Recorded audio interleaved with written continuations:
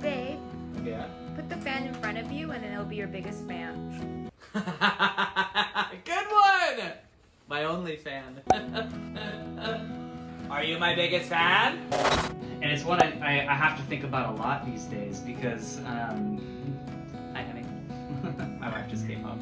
Um, True story of J.R. Slayer, though, is that he's alone and he eats everything and devours everyone, and he, all he wants is a friend, but his, his true nature is to destroy. And I never really appreciated your art until doing this video. Oh, really? Yeah, I was like, wow, oh god, what was it. it that made made you? The song really fits well with those images because Mhm. what I hate in life is cutesy things. More into like Bauhaus.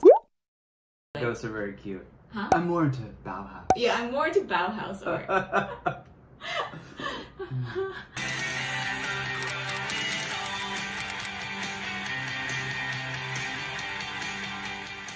gonna open up a show for my brother Rocky, who's coming to play in LA, and I'm trying to decide what acoustic guitar I'm gonna use. And to determine which one sounds better, we're gonna do a sound test where LJ is gonna close her eyes and tell me which one she likes better. Eyes closed? May I speak? Yes.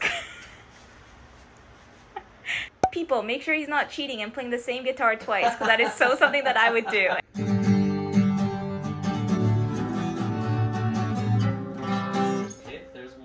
I think I need a little more. Okay. I think I need a little more. you don't. I love that song so much. Okay. First one. Oh my god, first one, stop. Sorry, me that- Fender. Uh, Sorry, Fender. Oh, baby, but look at the back. Can you put that in the, in Oh the yeah, Martin acoustic? Look at this one. This was when we were dating and we are far apart. It's immediate. I really don't know anything about guitars. The fact that I can tell the difference is amazing. Okay, I'm gonna rehearse now. Are you telling me I can't speak unless I'm spoken to? Unless you're spoken to, and then sometimes not even then. See how mean he is off camera? He thinks he's off camera. I'm on camera. Oh, you Look know.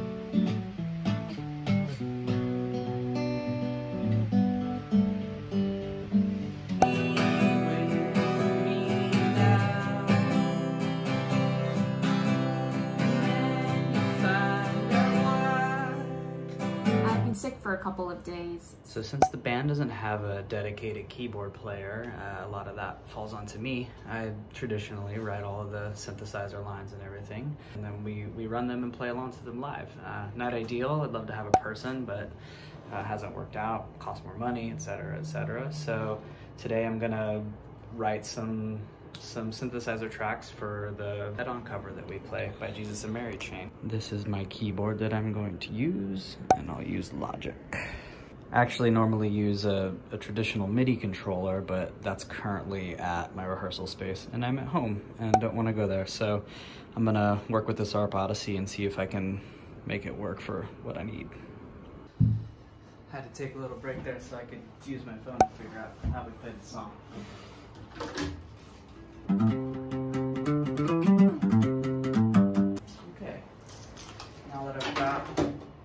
The sort of mapped out, maybe I can figure out the synthesizer.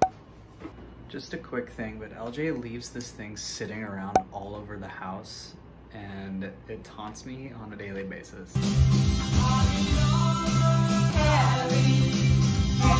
can't go backwards. I'm not an ambi-turner. I don't have that rotation.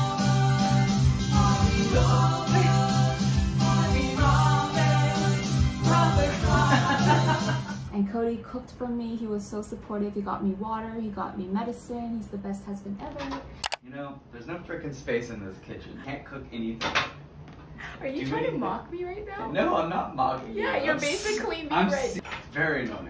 I'm right serious. now. What we're gonna try to do is he has a lot of skills in Procreate, Procreate on the iPad. self-taught skills, very basic skills.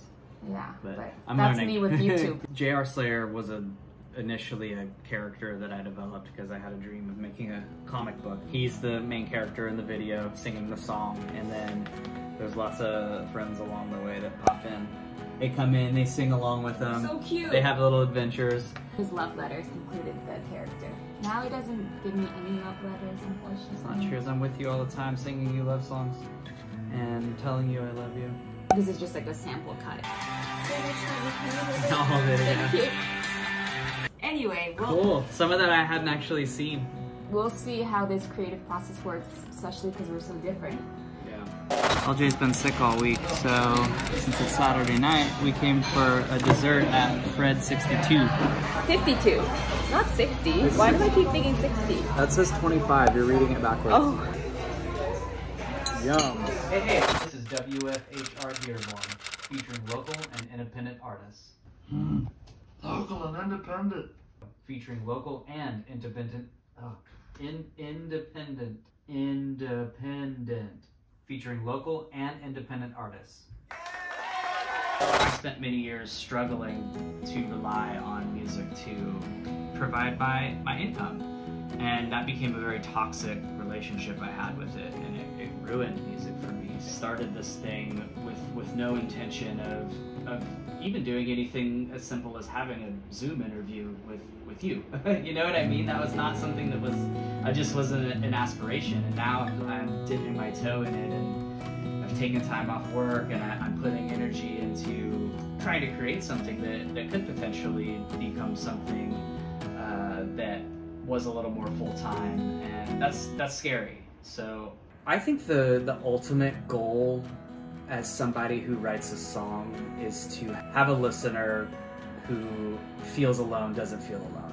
There's somebody in Des Moines, Iowa right now that stumbled across it and something about the songs resonated with them and they're they're no longer alone. They have they have something.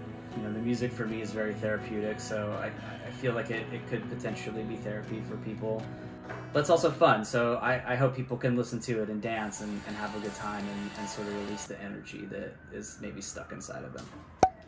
It's it's sort of hard to measure like say something to your fans because I don't know what that means quite yet. Uh, Are you my biggest fan? so so to the future fans, I, I say like maybe somebody comes and sees us at the Saosin show and they don't know anything about us and they enjoy it and like it and then they start checking it out. Like to me, like I appreciate people's need for for music. Bye. That was so short. Said it once. 20 minutes, yeah. Music for me is very therapeutic, so I, I feel like it, it could potentially be therapy for people. Feeling this. So emotional. Have a listener who feels alone doesn't feel alone. Unlike the vlogs, you have total trump card on this. You know, Okay. like the wife thing. Like I was like, I have to keep it in. Um, this one, if you don't like anything, we can take it out and change Okay, it. great. That's number one. And I won't get offended if you're like, oh, that's uh, so ugly. I gave LJ like a broad strokes of what I kind of thought should happen in the music video with the idea that she could adjust and take it and run with it. I sent her the JR Slayer character. Four versions. Yeah, four different versions of it, a bunch of different ghosts, and then I sent her backgrounds and things that she requested, like the binoculars. I also requested drums. Oh yeah, drummer. drumming That was ghost. very nice That one one. was fun to draw, Yeah. actually. You sent me mostly still images. Images were great, thank you, baby. I did it without animation or any movement. It just looked so Yeah. like boring. So I really had to like switch things up. No, That's- that's that's that's, yeah. totally cool. I'm I'm excited Okay. to see. I asked him to send me a video recording of him writing the lyrics. They, they worked well, I think, and they're legible. Cool. Um, even though they're cursive, which is hard to read for a lot of people, but I really did slow it down. So the only time I didn't use your font or images is the very beginning, and you'll see why because it's like the introducing. Okay. Because you and I talk about a lot, the character, we Mhm. really aware of But I have a list of things to tell Cody. Music video research, I didn't do that. Sorry, I was like gonna do that if we had time and like figure out what music because I haven't seen the music video for so long. Our voice only, which is a good thing. which is a bad thing. That's like you think you're smarter than ten thousand of people who already like did this for a living before you. One idea I had, and shoot me down because it might, it, for me it's a lot more work after. Babe, you can't do those things anymore. Oh, yeah. it's like me too. Anymore. Uh, okay, one idea I had, and this is just because I think you're so handsome. The last chorus, it can transition from the ghost to you. So you come on the, so it becomes fully live. oh. So it's like the ghost is like dancing, and Okay. then I don't know how, but I'll figure it out. I'll make it so you turn into the ghost. So I'm going to the gym. He's never seen the video, so he's gonna give me all of his edits. Yeah. Okay, ready? hmm Now, is this the face of someone who, watching his music video for the first time, has realized that he has perhaps made the worst decision for both his band and marriage? Or could it be the face of someone who actually likes what he's seeing? Find out on the next episode of the Vodalot. I still can't say her last name, the Votalado Diaries. But in the meantime, you can decide if it was worth the risk in hiring his amateur wife, free, and saving money since he quit his job to pursue his emo dreams. The video went live today on the Memory Music YouTube channel, so please click here and let us know in the comments what you think. See you next week!